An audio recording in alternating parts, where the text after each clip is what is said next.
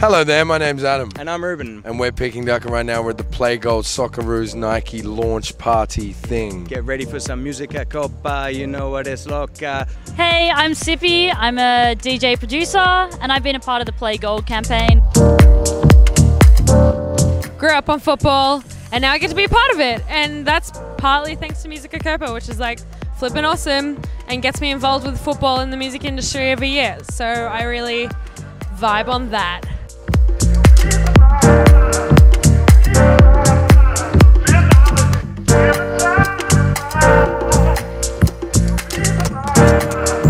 Turn that bit up in post.